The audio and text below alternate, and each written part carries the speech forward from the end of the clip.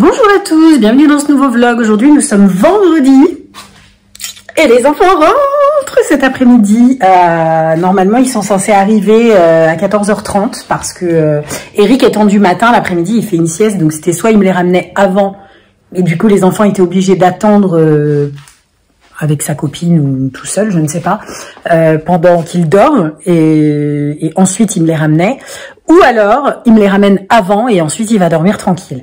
Donc euh, moi j'avoue qu'il me manque beaucoup les enfants, donc euh, du coup je lui ai dit bah en vrai euh, j'aimerais bien hein, avant. Et il, il, a demandé aux enfants, les enfants avaient envie de rentrer aussi, donc du coup c'est réglé. Ils arrivent cet après-midi à 14h30, donc moi, je suis très motivée aujourd'hui. Je, je suis très contente et euh, voilà, j'ai hâte vraiment. Du coup, moi, je m'apprête à faire le ménage. Alors, j'ai ce sac dans le canapé depuis euh, au moins trois jours. Ce sont en fait mes accessoires de d'onglerie. Euh, le truc, c'est que je ne sais pas dans quoi les ranger pour les transporter. Donc, ah, j'avais gardé une boîte à chaussures. Peut-être que ça rentrerait dans la boîte à chaussures. Faut que je vois parce que comme j'ai la lampe, ah, j'ai de la lampe et puis j'ai la boîte de, de papillotes. Je sais pas.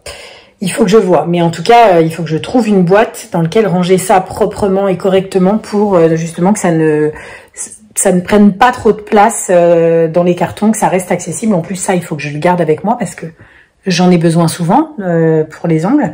Donc, il faut que je... Ou alors, je le laisse dans le sac et puis je glisse ça dans ma, dans ma valise peut-être ça, c'est peut-être mieux. Donc je vais réfléchir à tout ça. J'ai une lessive à plier là que je vais faire tout de suite. J'en ai une à étendre. Et ensuite, je vais m'atteler euh, au pactage de ma chambre. Oui, oui. Donc, euh, bah, action, motivation. Bon, les amis, je vous reprends. Il est 16h30 et euh, c'est l'horreur. Je suis en train de faire un tri de dingue. Alors, j'ai commencé le tri de mon armoire, j'ai pas fini. Euh, là, je suis en train de vider ça, donc du coup, je fais c'est de la paperasse, de la paperasse. Euh, j'ai jeté un nombre de choses. C'est hallucinant. Et ça tombe bien, les ordures passent aujourd'hui. Donc, euh, du coup, j'ai rempli ma poubelle, là. Et euh, là, j'ai quelques documents à classer dans mon classeur familial. Et puis ensuite, euh, je vais préparer... bah, mes cartons en fonction de ce que je dois garder près de moi chez mon frère ou euh, bah, ce que j'envoie direct au garde-meuble en fait. Donc euh, c'est euh, en fait c'est ça je crois la complexité dans la façon de faire les cartons, c'est vraiment de, dissocier ce dont je vais avoir besoin chez mon frère ou pas, ne sachant pas combien de temps on va y rester. Normalement c'est trois semaines mais on ne sait jamais. Donc bon. Puis alors quand je vais devoir m'attaquer à ça, on n'en parle même pas. Ça va être l'horreur.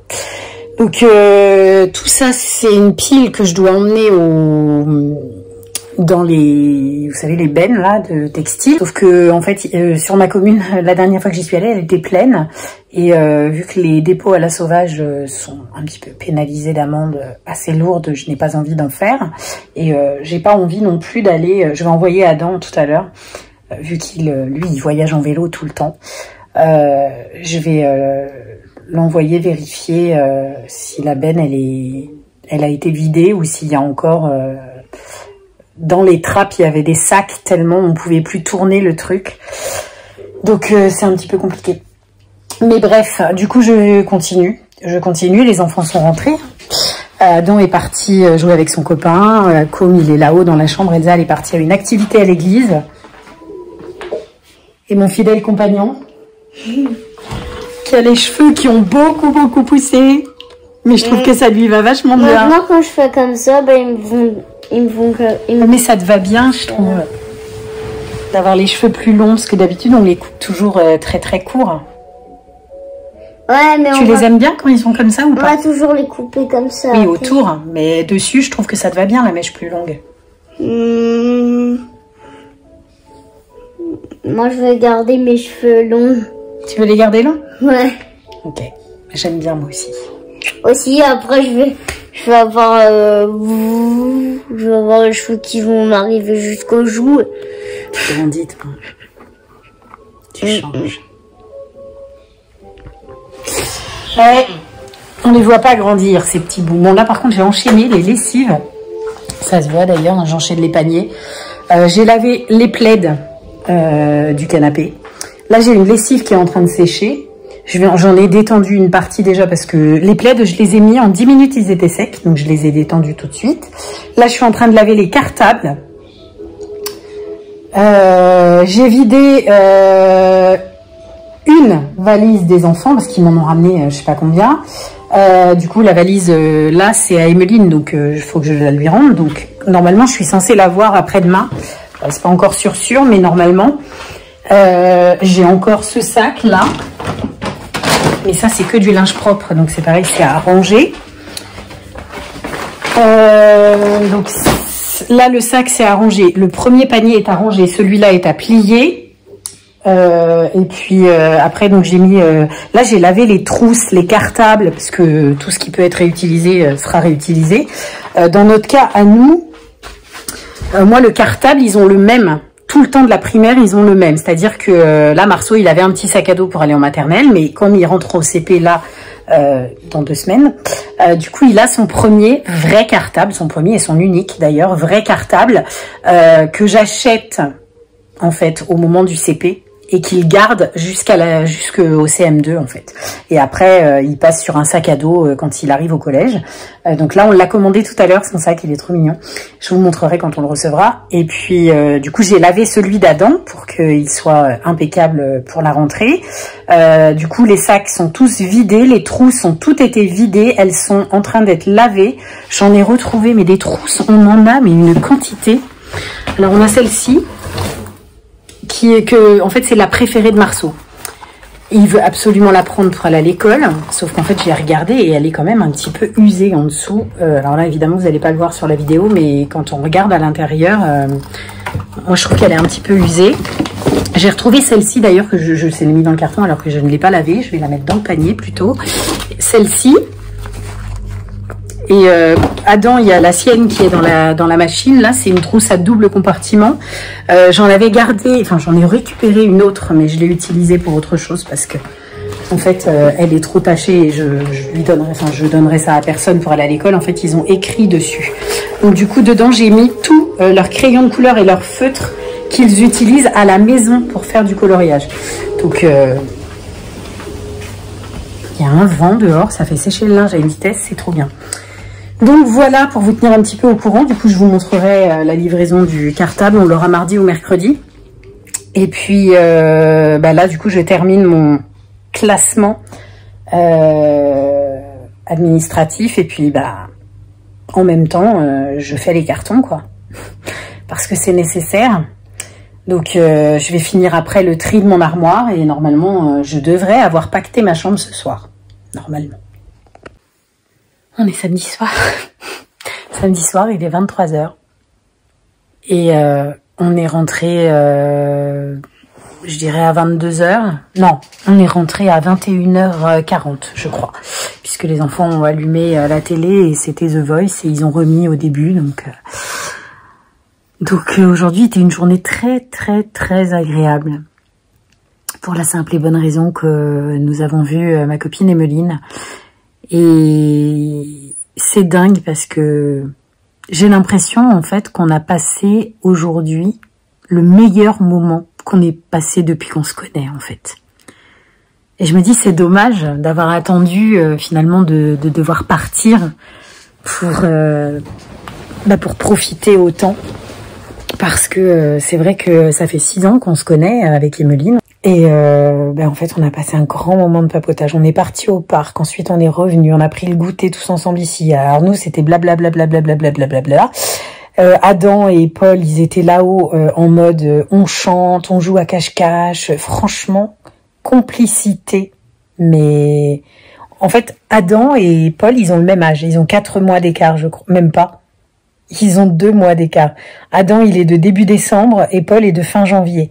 Ils ont deux mois d'écart. Et euh, bizarrement, ou pas d'ailleurs, parce qu'en fait, Paul, il est euh, au potentiel comme Com. Et du coup, Paul et Com, c'est les deux mêmes. Mais vraiment, les deux mêmes. Et donc, du coup, ils s'entendent à merveille. Ils ont les mêmes centres d'intérêt, les mêmes... Euh, euh, les mêmes envies, les mêmes idées. Enfin, c'est incroyable parce qu'ils ont vraiment pas le même âge, vu que euh, Paul, il a 9 ans et comme il en a 12, quoi. Et en fait, ils s'entendent mais super bien. Donc toute la journée, il était très content de passer du temps avec euh, Adam parce que contrairement à avant, là, le fait que Com ne soit pas là, du coup, Paul a passé du temps avec euh, Adam. Donc Adam était très content. Et euh, ça s'est super bien passé, même si voilà, Paul il a demandé plusieurs fois à quelle heure rentrait Com, est-ce qu'il allait le voir avant de partir, etc. Au début j'étais pas sûre, et en fait, euh, Emeline a fait traîner le temps. Après, on n'avait pas vraiment envie de se séparer non plus parce que on savait pas si après aujourd'hui on allait se revoir. Et donc, euh, enfin, avant que je parte, hein, je précise parce que après on va se revoir bien sûr. Mais euh, on savait pas si on allait pouvoir se voir avant que je parte. Et du coup, euh, bah, on faisait traîner le temps le plus qu'on pouvait. Et finalement, les enfants sont rentrés, donc ils ont pu se voir. Et en fait, Emeline a organisé euh, puisque moi du coup j'étais en train de discuter avec Martine qui a ramené les enfants et en fait euh, elle a organisé avec son chéri euh, un dîner bon un dîner pas chez eux hein, mais on est allé au resto en fait tous ensemble pas au resto au McDo pardon tous ensemble donc elle avec ses trois enfants son conjoint et moi avec mes quatre enfants et franchement c'était génial donc journée plus soirée au top du top. J'ai l'impression qu'on n'avait jamais passé euh, un moment où on profitait autant les uns des autres en fait. Donc euh, c'était vraiment chouette. Et donc là on est rentré. Enfin en plus sur la route on a croisé Anaïs. Donc du coup elle est venue. Euh, en fait sa copine elle habite dans le village juste à côté. Et donc elles étaient ensemble. Et donc elle est venue nous faire un bisou et puis elle est repartie. Elle nous a emprunté quelques jeux de société qu'elle nous rendra demain. Et puis, euh, puis bah après on est rentré et là euh, du coup je suis couchée, je vais euh, m'apprêter à dormir. Demain matin nous allons à l'église, nous enchaînons avec le pique-nique euh, chez Anaïs et puis bah du coup je vous reprendrai probablement que demain soir parce que dans la journée je ne pense pas que je vais vloguer, je vais profiter d'Anaïs, profiter de mes amis de l'église parce que bah là encore ça va être un sacré moment étant donné que c'est pour dire au revoir qu'on y va. ça fait bizarre quoi. Donc, euh, donc voilà. Bon, comment vous dire que j'ai failli à mes obligations? Je ne vous ai pas repris dimanche soir puisque nous sommes lundi et qu'il est 22h52. Euh, Alors pourquoi je vous ai pas repris hier? Euh, Déjà parce que émotionnellement parlant, ça a été une journée lourde en fait. Je crois que c'est ça le mot. C'est vraiment lourde. la matinée à l'église a été difficile parce que parce que les séparations étaient difficiles. C'était c'était déjà très euh, larmoyant. Elsa a beaucoup pleuré. J'ai beaucoup pleuré. Déjà, on est arrivé et en fait, l'évêque est venu tout de suite me voir euh, pour me dire euh, Magali, je me demandais, vu que c'est votre dernier jour ici, est-ce que tu accepterais de nous rendre une dernière fois ton témoignage et de, nous faire un petit discours euh, d'adieu, si on peut dire. Donc euh, bon, je savais qu'émotionnellement, du coup, ça serait compliqué. Mais j'ai quand même rendu mon témoignage, j'ai quand même, euh, voilà, je me suis adressée à ma paroisse pour leur dire au revoir, leur expliquer un petit peu comment ça se passait. Et puis, évidemment, ça a été très dur. Déjà, s'exprimer en public, souvent, ça fait monter l'émotion. le fait de un petit peu se, confier en fait sur ses expériences de vie, c'est toujours un petit peu sensible, j'ai envie de dire. Mais là, euh, là, c'était plus le fait de dire au revoir, en fait, de dire aux gens, euh, je vous aime, mais je pars. C'est c'est dur de dire au revoir aux gens qu'on aime, en fait. Et mes amis de l'église, euh, pour moi, ils sont comme ma famille, en fait. Et je suis pas dans la peur. J'irai pas jusque là, mais on dit toujours on sait ce qu'on perd, on sait pas ce qu'on retrouve. Et c'est vrai que euh, je ne connais absolument pas la paroisse de Compiègne où je vais aller.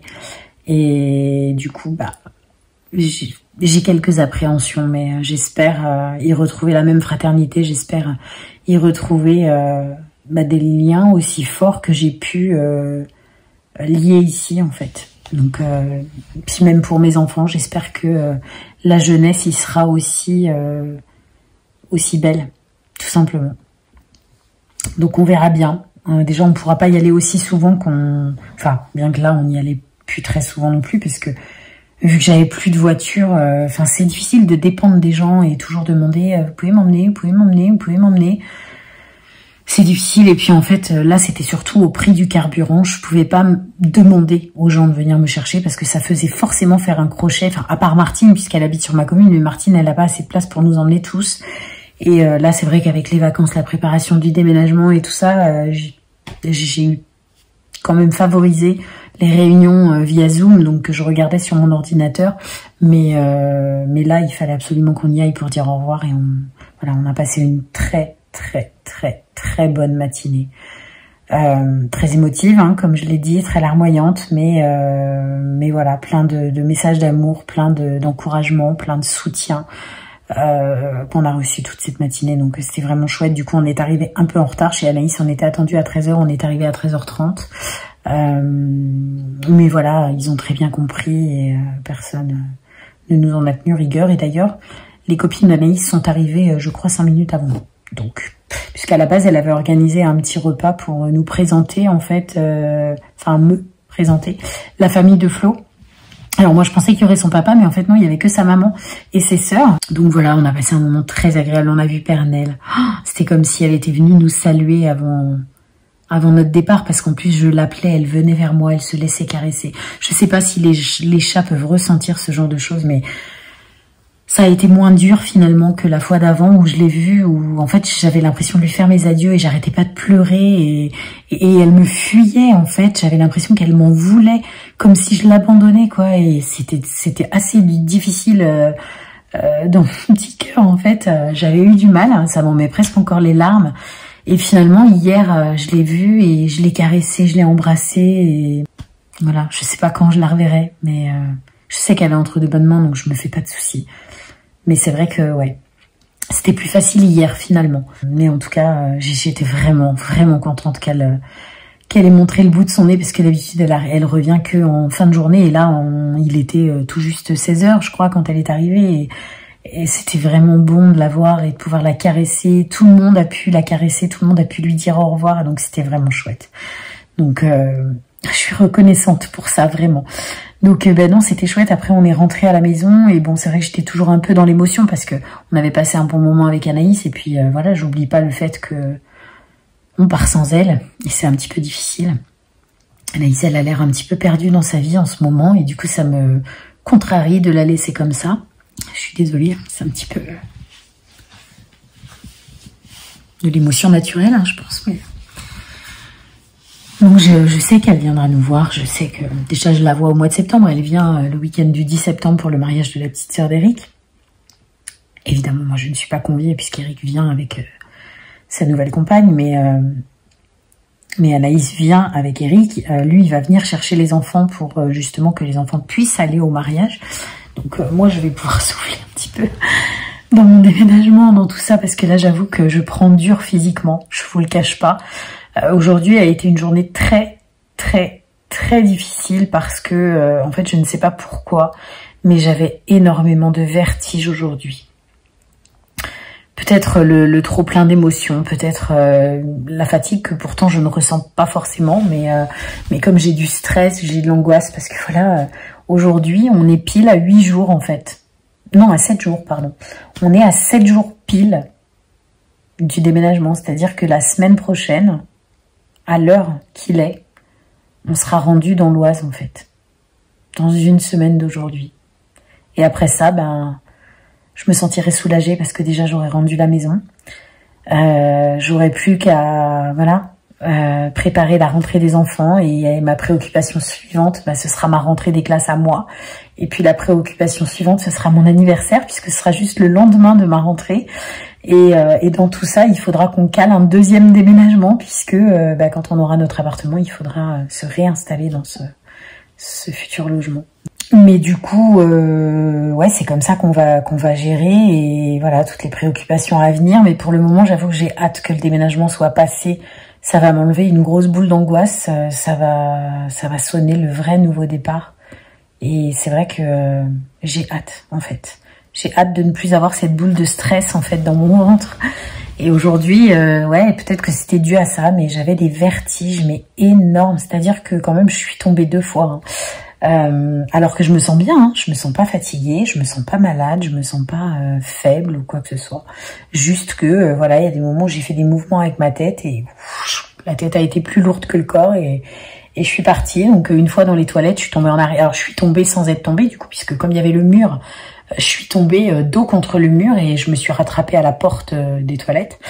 Et dans la cuisine, en fait, bah, j'allais vers la cuisine et en fait, j'ai failli tomber euh, pile à l'entrée, en fait, au niveau de la porte. Et en gros, comme j'ai perdu l'équilibre, je suis partie sur le côté et je me suis tapée euh, en fait dans le, côté euh, là, le, le, bâti de la porte. Et là, par contre, je suis tombée à genoux par terre, mais ça va. Je me suis pas fait mal, euh, juste que suis du mal à me relever après parce que j'avais vraiment la tête qui faisait euh, des tours et des tours.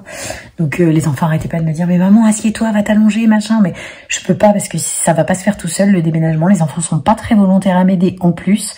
Donc là ce matin j'ai eu un petit peu d'aide de Com et d'Elsa. Cet après-midi j'ai demandé à Elsa de faire ses cartons, mais en fait si j'étais pas montée, elle passait son après-midi sur son ordinateur. J'ai été obligée de confisquer l'ordinateur pour qu'elle se bouge un petit peu. Donc je suis montée, j'ai essayé de la guider un petit peu, de lui dire mais ça, ça, ça, faut que voilà.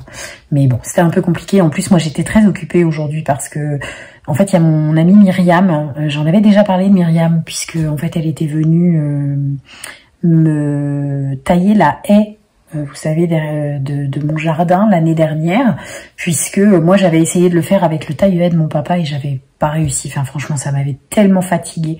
J'avais trouvé ça tellement dur à faire que, euh, enfin, alors pas le, devant de la haie, mais le dessus, c'était horrible à faire soi-même. Et du coup, je me suis dit, ben, je vais chercher quelqu'un. Et euh, en fait, quand j'ai demandé à Myriam si elle connaissait quelqu'un qui faisait euh, la taille des haies, elle m'a répondu, bah oui, moi. Et en fait, elle est ancienne paysagiste, Myriam, je le savais pas en fait à ce moment-là. Et donc, elle s'était proposée de venir tailler ma haie, ce qu'elle avait partiellement puisque l'année, en fait, elle est venue l'année dernière, l'été dernier. Et euh, non, elle était venue en septembre, je crois, je sais plus. Mais moi, j'avais euh, reçu une menace de la commune euh, de recevoir une amende, etc. Si la haie qui donnait sur la rue n'était pas taillée, on l'a taillée. Au final, bah là, voyez, ils l'ont arraché. Il n'y a plus de haie. Tout ce que Myriam avait taillé l'année dernière, ça a été retiré en fait. Elle, elle s'était arrêtée parce que du coup, elle n'avait pas eu assez d'une journée pour le faire et que, en fait, après, elle a été obligée de prendre un deuxième emploi et elle a pas trouvé le temps de revenir. Enfin, en tout cas, elle avait d'autres priorités. Moi, je vous cache pas que j'avais aucun critère d'urgence parce que clairement, la haie, c'était le cadet de mes soucis. Mais là, comme je rends la maison, je suis obligée de tailler la haie. Et comme l'année dernière, je l'avais payé, Myriam, et en fait, je lui avais même donné un petit peu plus que ce qu'elle m'avait demandé parce que j'avais l'impression de l'exploiter en fait en ne lui enfin en ne lui donnant que ce qu'elle m'avait demandé. Je trouvais vraiment que c'était pas ça aurait pas été honnête de ma part parce qu'il y avait quand même beaucoup de boulot et euh, au final elle en a encore plus aujourd'hui puisqu'on a on aura attendu un an pour le faire donc euh, autant vous dire que depuis un an ça a poussé. Et donc euh, donc ouais, c'est là du coup elle est venue pour terminer avant que je rende la maison comme ça moi je rends avec un jardin propre en fait. Il va nous rester évidemment la pelouse à tendre et le coupe-bordure à passer, mais ça je vais gérer avec les enfants. Et puis euh, du coup elle est venue toute la journée là, donc elle est venue ce matin, elle est arrivée avec ses deux plus grands enfants, euh, Quentin qui est copain avec euh, Adam et avec sa fille Alice que, que tout le monde apprécie ici, donc du coup ils sont venus, ils ont joué avec les enfants, et puis ce midi, en fait, on les a gardés à manger, euh, les deux enfants. Euh, Myriam est rentrée euh, déjeuner avec son mari, elle est revenue cet après-midi, et moi, en fait, cet après-midi, j'avais Anaïs qui venait pour me faire mes racines, hein, vous constaterez que c'est beaucoup plus propre. elle m'a aussi coupé les, enfin, elle a coupé les cheveux des trois garçons, comme ça lui va super bien, sa nouvelle coupe. Euh, Adam, bah, il est coupé pareil que d'habitude, mais euh, en plus court. Et Marceau, pareil, euh, en fait, il a la même coupe que Com, mais en un peu plus long. Je trouve qu'elle lui a laissé trop de longueur, mais elle revient en fait nous voir lundi, le jour où on va partir, elle va venir. Parce qu'en plus, il y aura mes parents, donc comme ça, elle verra mes parents en même temps.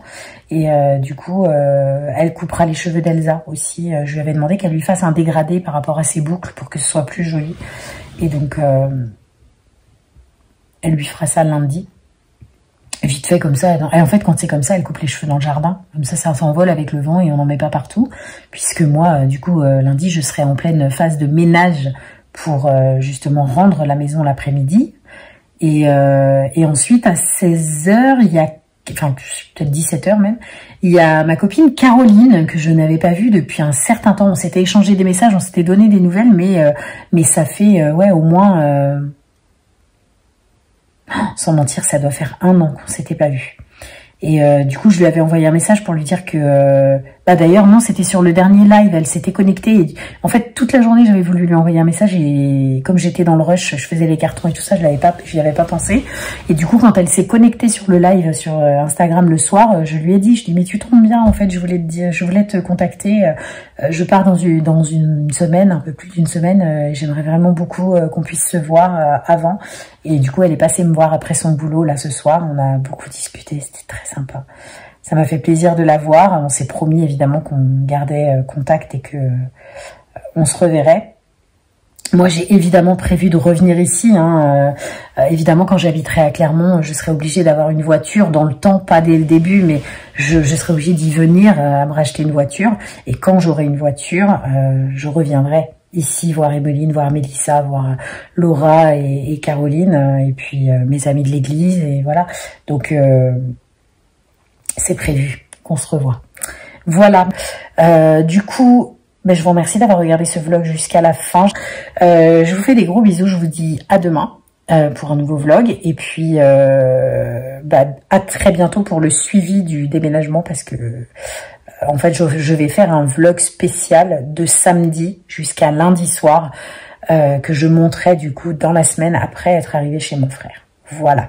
Donc euh, là-dedans, je vous voilà, je vous partagerai vraiment les étapes du déménagement, le déroulé. Euh, enfin, ce sera, euh, je pense, un blog assez simple. Voilà. Je vous fais des gros bisous et je vous dis à très bientôt. Ciao